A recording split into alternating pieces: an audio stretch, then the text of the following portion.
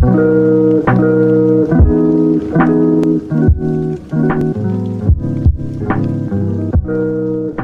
guys, this is going to be the 31 Days of Tarot Challenge. It's day one, um, and I actually almost forgot about it until I like remembered and I'm like, holy shit, I need to film that video. So this is day one. 31 Days of Tarot is um, a challenge that Ethony created. So if you follow her, subscribe to her channel and whatnot, um, but it's a, a 31 days of pretty much talking all things tarot and oracle.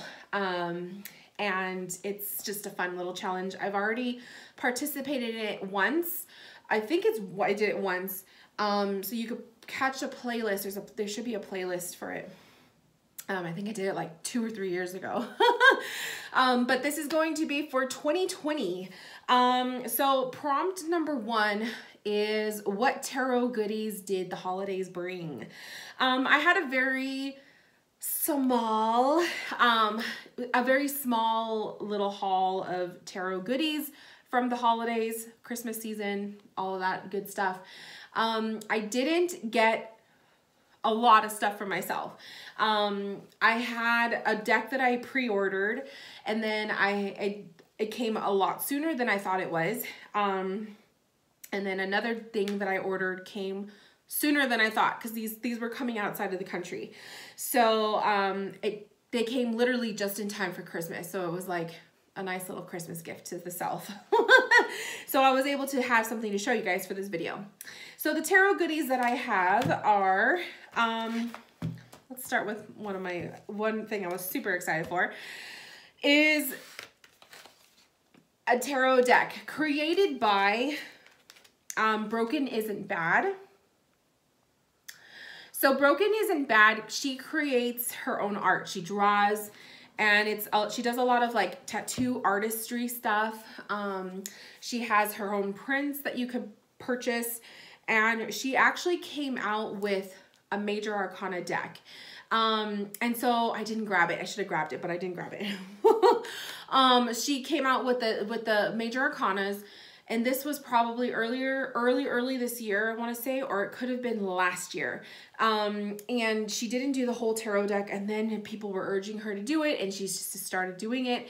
And next thing you knew, she had the deck out for pre-order. Now, the thing with her is that they went off, like literally, she sold out um, really fast. And I remember I put a mental note that I wanted to order this deck because I love the major arcanas and it's just like this is just one of those decks that you're not going to see everywhere.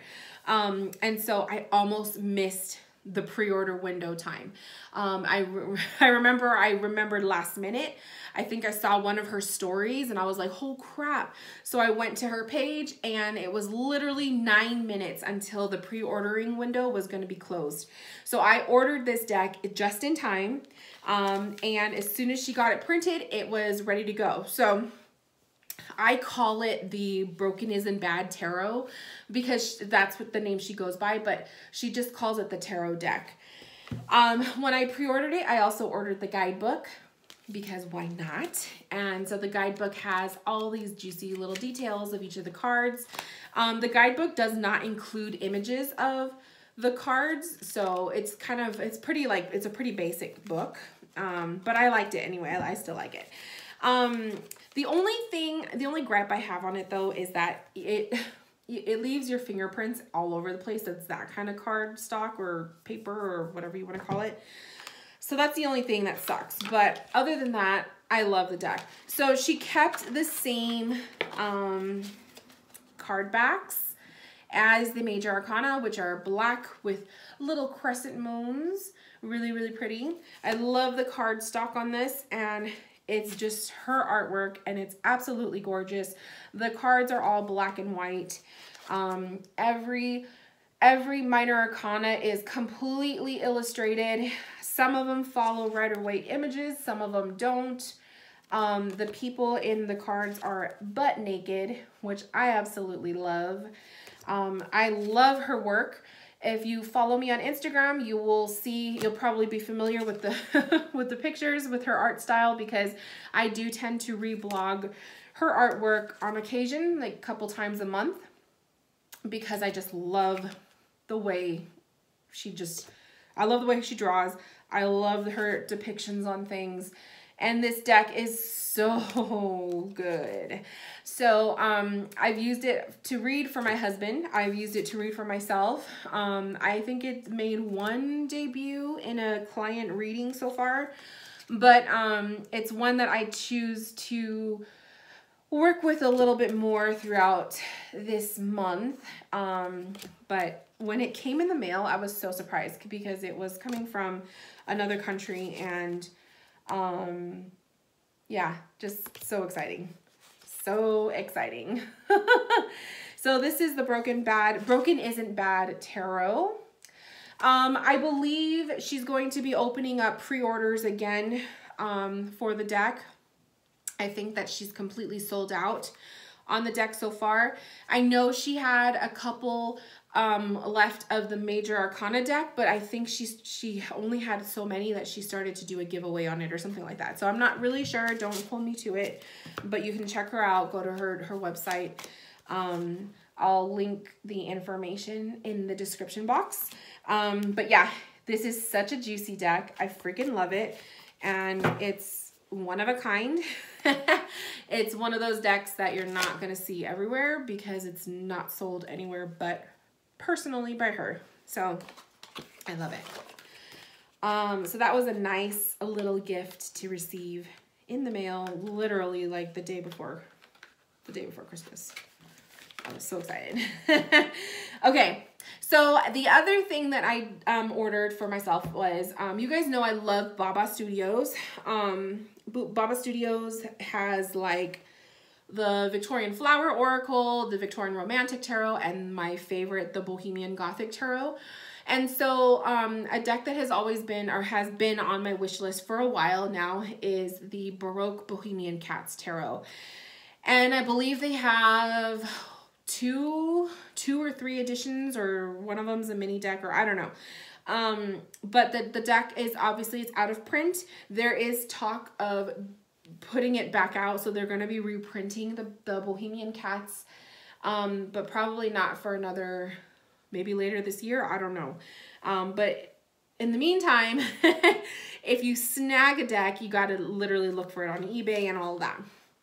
So I found one um, and I found my copy on a deck trading um, group on Facebook. And um, it was a post that had been like a couple months old. And I messaged the the woman that was that had made the post and I asked her is this deck still available? And she said yes. So um because the thing with these deck trading groups is that if you're not on it real fast like people will snag those decks up real real quick especially if they're out of print um, but she still had it. So um, I told her I'm interested and she lived within the States. So shipping was included in her price.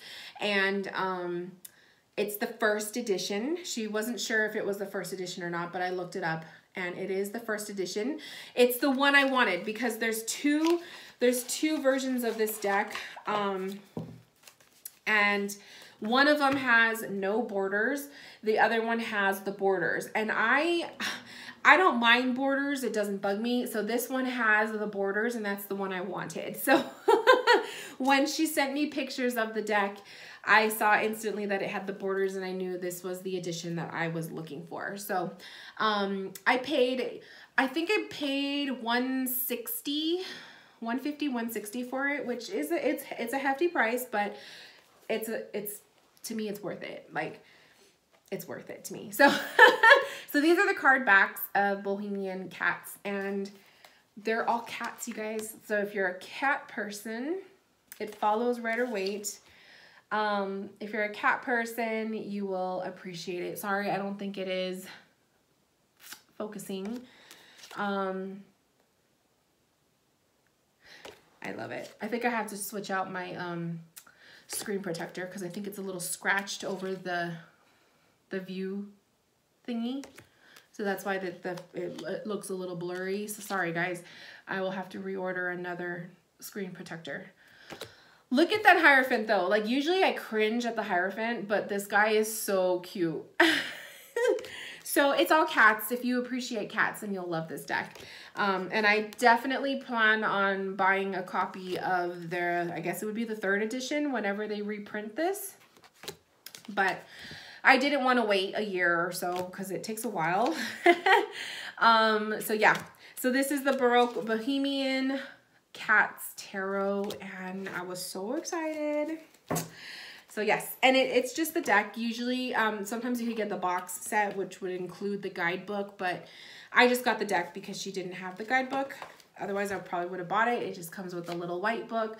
This deck was printed, it was um, uh, printed 2004. So yeah, not old, but you know. So I was happy. I'm so happy. I'm happy because it's another um, Baba Studios deck to add to the collection. And I just, I, I'm just such a fan. So yay! Um, the last juicy thing that I picked up for myself was a last minute splurge because Baba Studios was having a sale and I saw that their guidebooks, their compendiums were on sale. And so I decided to pick up the Victorian Romantic guidebook, the compendium, I guess is what you would call it. Um, I don't have, I have, so it, this one is specifically for the third edition, which is the metallic edition, which is this one. So it comes in that greeny aqua, well, it's not really aqua, I guess it would be like teal box. This is the third edition of the um, Victorian Romantic Tarot. So this is the compendium that technically, I guess it goes with the third edition. I don't know I don't, I mean, I guess, yeah, because the images. and so it has a colored image of the card and then it just goes into great detail of the artwork and the, you know, all of the above. So I am so excited. Um, the only other compendium that I own from Baba Studios is the Bohemian Gothic Tarot, which was gifted to me by someone super sweet. So um, I'm excited to dive into these because I love to read these. Like they're just so juicy. Um, so yeah, so that's that was the the third the third thing that I gifted to myself for Christmas. Um, and I'm excited to have that because I love I love reading these things and oh, it smells like brand new paper. and it's just so cool. Like I like the way it has the image and color and the rest of it's just, you know, black and white. So I love it. I love guidebooks because you, you there's like so much more to it when you read like the guidebook than just the little white book. The one compendium that I would love to get my hands on is for the Victorian Flower Oracle. That's to be on, that's on my wish list. So one of these days, one of these days, you guys, I will snag myself a copy, but when it's meant to be, it'll be. So that is my day one of 31 Days of Tarot. Um, so you guys will see a video a day as I go through the 31 days and hopefully I will remember. um, but yeah, I hope you enjoy. And if you want to follow through, I will be making a playlist for the 31 Days of Tarot 2020. Um, check the other playlists that I have. I'm pretty sure I have one for um, one of the other challenges I did. So Enjoy, and I will see you guys tomorrow for day two. Bye, loves.